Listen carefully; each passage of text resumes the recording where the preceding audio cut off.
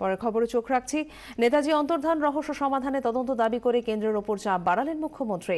নাম না করে সমালোচনা করলেন প্রধানমন্ত্রী। পাহাড়ে নেতাজি জন্মজয়ন্তীর অনুষ্ঠানে মমতার গলায় শোনা গেল রাজ্যের অখণ্ডতার বার্তাও।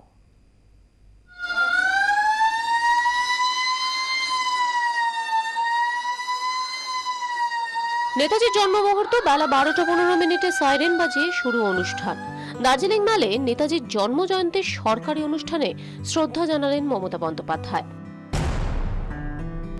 हमारा स्केल दिल छोड़ के कभी नहीं होगा और हमारा दिल के लिए हमारा दिल से ये प्रोग्राम हम दार्जिलिंग में बनाते हैं কবে কিভাবে নেতাজির মৃত্যু হয়েছিল সেই মৃত্যু রহস্য প্রকাশ্যে আনুক কেন্দ্রীয় সরকার নেতাজির জন্মজয়ন্তী অনুষ্ঠান থেকে এই দাবি আরও একবার তুললেন মুখ্যমন্ত্রী মমতা বন্দ্যোপাধ্যায়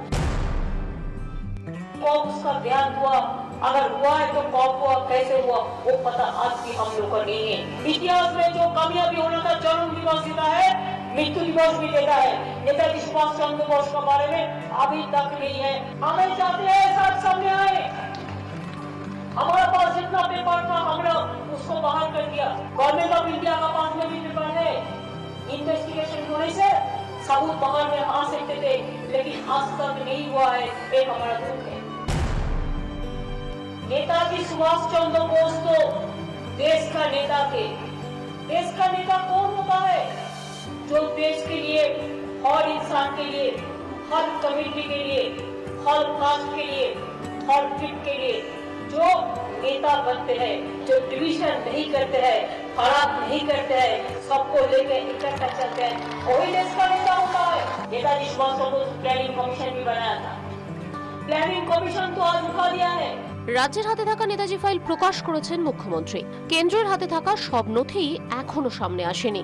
দেশের বাইরে থাকা নেতাজি সংক্রান্ত নানা ফাইল এখনও আড়ালে। নেতাজির জন্মদিনে তাঁর মৃত্যুর রহস্য সমাধানে তদন্ত দাবি করে কেন্দ্রের ওপর চাপ বাড়াতে চাইলেন মমতা বন্দ্যোপাধ্যায়। উনিশশো ছত্রিশে অসুস্থ অবস্থায় দার্জিলিংয়ে গেদ্ধা প্রহারে এসেছিলেন নেতাজি। সেখানে পর্যটনের বিকাশে দশ লাখ টাকা দেওয়ার কথা জানান মুখ্যমন্ত্রী। এদিন ফের নোট বাতিলের সমালোচনা করেন তিনি। ঘোষণা করেন নানা প্রকল্প। তার সঙ্গে থাকলে ত্বরান্বিত হবে পাহাড়ের উন্নয়ন। ভোটের আগে প্রতিশ্রুতি দেন মমতা বন্দ্যোপাধ্যায়।